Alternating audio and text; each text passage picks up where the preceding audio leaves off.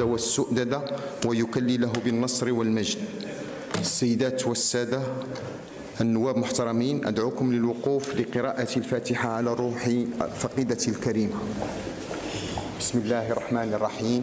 الحمد لله رب العالمين. الرحمن الرحيم. مالك يوم الدين. إياك نعبد وإياك نستعين. اهدنا الصراط المستقيم. صراط الذين أنعمت عليهم. غير المغضوب عليهم ولا الضالين. آمين. سبحان ربك رب العزة عما يصفون وسلام على المرسلين والحمد لله رب العالمين.